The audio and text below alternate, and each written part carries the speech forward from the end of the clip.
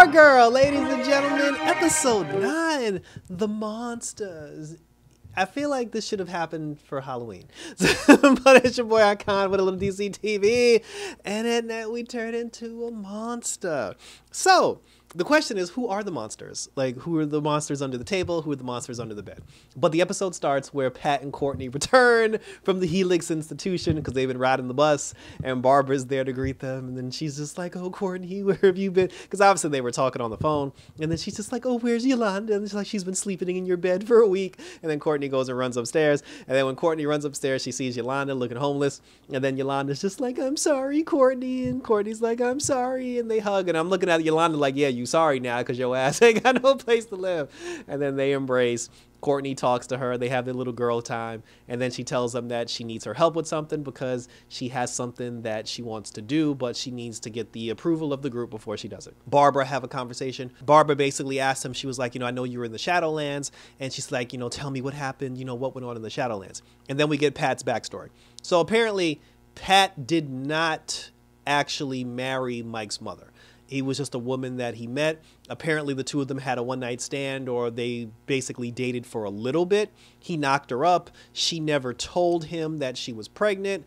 And then she gave birth to Mike or whatever. And then, you know, Pat found her. They had they had shared custody. And then one day, the I guess the police like they found Mike at um you know like at an orphanage or like at a shelter and the mom was gone because they said that she had OD'd or they said that she was using or something. Basically, the, the woman was on drugs and she basically ditched Mike and left him at um at a shelter. They found Pat. Pat took Mike in, and then he kept Pat away from you know away from his mom. Mike would always ask like, "Hey, Pat," you know. See, and that explains why Mike keeps calling him Pat because Mike was with his mother for a while before Pat even knew about him. So that so it's not like he grew up with Pat, so you know he calls him Pat and not Dad. But then you know like but Mike would always ask like, "Hey, what's up with mom? What's up with mom?" And you know Pat never really answered that question, and he just ignored him and hoped that it would go away. And then eventually Mike just stopped asking, but internally he always thought about and misses his mom. So you know Barbara was just like, well, you have to have you have to let Mike you know talk to his mother, and then he's just like, that's not a good idea, but it's the right thing to do. Pat starts researching, looking for the wife or the mom, and you know the Sportsmaster ends up helping him out with that. So now they're on a search to try to find mike's mom which will be a very awkward conversation. And then surprisingly like pat was gone for the rest of the episode. But then so then regarding the youth uh, they end up having a conversation where everybody apologized to everybody at the dinner table and then that's when Courtney told them that she wanted to tell Cameron the truth. And then Rick was immediately like hells to the no, but then she was just like, "Oh, we can't we can't hide the truth from him." And then Rick was like, "Look, you can do what you want, but I still got your back no matter what happens. You know, if he flips out, I got your back. You're my family. I'm with you guys. But he was like, once this shit blows up in your face, just be ready for that. I told you so because this is a bad idea. Everybody else agrees. And then Courtney goes down to Cameron's house to tell him the whole thing about his dad, the JSA, and everything in between. Prior to that, we get a, we get a scene where Cameron's art teacher showed up at the grandparents' house because he wanted to talk to Cameron because he said that Cameron had quit art class. The whole time he's talking to them about like, oh, it's his passion, it's something that he loves. I'm not gonna let I'm not gonna let him quit being an artist. And then the grandmother's like, I can't take no more of this shit, and she froze him and she killed the art teacher and put him in the dumpster. That was wrong. So then Courtney shows up. She's having a conversation with Cameron, and she's like, "Oh, I want to tell you about your dad and what really happened." She was just like, "Listen, your dad's not the person you thought he was." And as soon as she said those words, the grandma busted through the room. And she was like, "You'll die, bitch!" And then she went to attack Courtney and everything because she was just like, she's not gonna let you besmirch the name of her child. So now Beth, Rick, and Yolanda the three of them are talking. Rick is basically still having the anger issues with the hourglass. Beth knows about it and she she kind of called him out on it, but not really. But then she said that she was doing a search throughout the city where she was trying to locate all the different, you know, like the signals from where the cameras were coming from. And she said that they did track a signal to Cameron's household. So Rick immediately got upset because he was just like, oh, they're all in on it. He put the costume on. He goes to Cameron's house, kicks in the door, waves in the 4 4, and then he attacks Cameron. Cameron starts fighting him with the ice power. Courtney ended up telling Cameron that that was Rick in the costume. Cameron didn't seem like surprised by that, and then the two of them just continued to fight. Yolanda shows up in costume. She ends up fighting the grandmother. Kudos to the stunt double actress who plays the grandma. And then Beth, when Beth came in the house, she was confronted with the grandfather. Now, here's the thing about Beth. There was a moment where when she saw the grandfather, and the grandfather tried to use his cold power to attack Beth. Right before they went into the house, Yolanda told Beth, she was like, hey, listen, stay behind and don't come inside. And then, you know, Beth was just like, but Yolanda. And then Yolanda was like, look, Beth, like fighting's not your thing, so it's best that you stay out of harm's way. And Yolanda's correct. You know, like she should stay out of harm's way because she can't fight. And then conveniently, when she gets confronted by the grandfather, her dad ends up calling her goggles from a from a, um, an unlisted number from a burner phone, and then he's like, "Oh, your mother and I, we were talking to Dr. McNider, and now, because the conversation of you not being able to fight conveniently came up in this moment, we've now conveniently come up with some things that your suit can do that you weren't aware of that'll help you out in this specific jam that we haven't talked about at all for the past three seasons. And I was just like, really?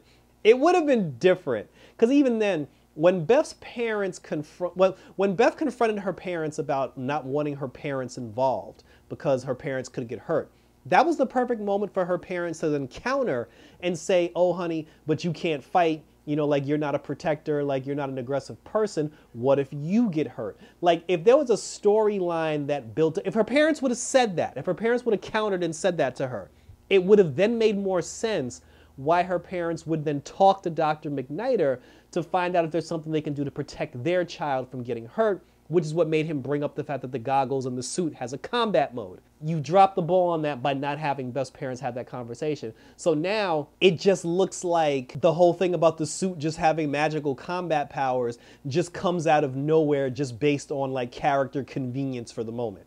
And like I said, like that that was a failed opportunity there. But anyway, but now, now all of a sudden the horrible and but see, but hopefully the only way they're gonna salvage this is if now that now that Beth's Parents knows everything about the goggles and about the costume.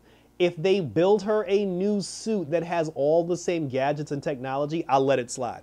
But it was just dumb that her parents never brought this up before. Nobody ever brought up Beth fighting. And then the moment it actually gets brought up, now all of a sudden her suit got a combat mode.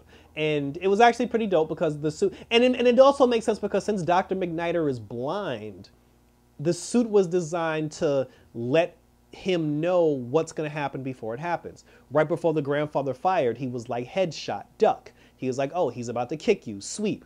You know, at this moment, throw a left hook. And that makes perfect sense because Dr. McNider is blind, so you would need somebody to lead you in that situation. So the whole thing makes sense. It just I just wish we would have brought up Beth not not being able to fight like six episodes ago.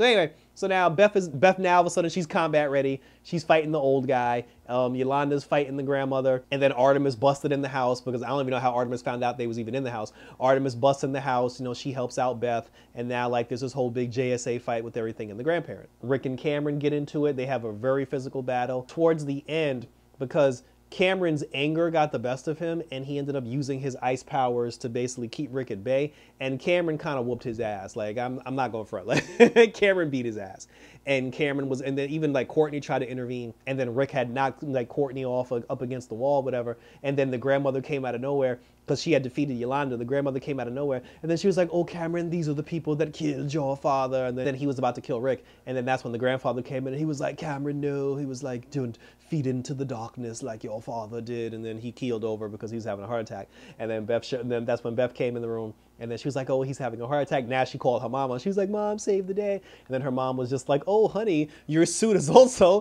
a defibrillator, so you can use it to. I'm just like, why did we not bring this up? Y'all could have queued this up before.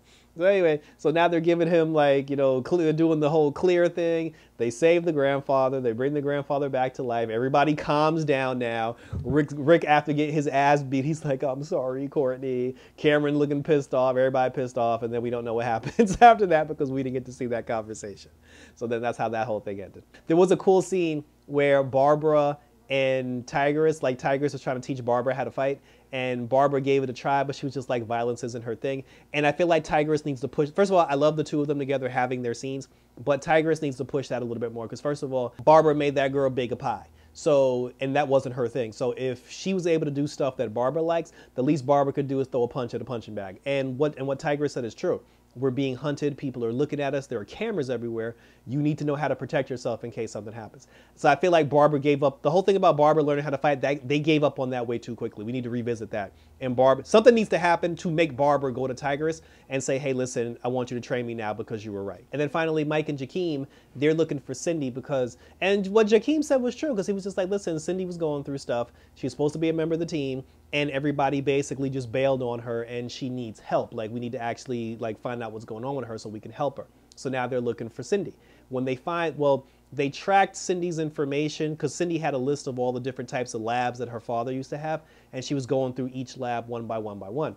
They find one lab that she had circled, and they go down to that lab. When they got to that lab, there was a person who was dead on the floor. I didn't get to see who the person was. When they go into the barn, um, a creature who looked like the Ultra Humanite.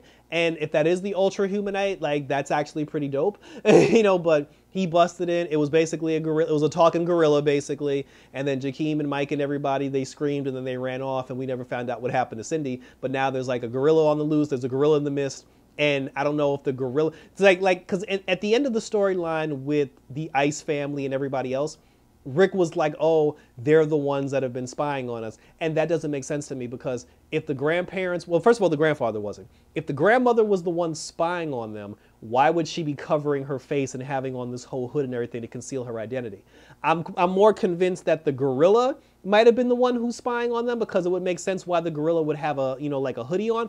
But at the same time, the person who's watching them on the cameras isn't that big because the gorilla was like big as like big as hell and the person in the in the hoodie was a little slim. So we still don't know who the person is in the sewer. That's still a thing and that still needs to be discovered. But now we got gorilla we got gorillas in the mist you know like coming up and we still need to have a conversation with Cameron because Courtney still needs to tell him because I saw in the coming attractions Cameron wants to know how his daddy died so that's an awkward conversation for Courtney to have and then Pat's on the search for trying to find, you know, like Mike's mama.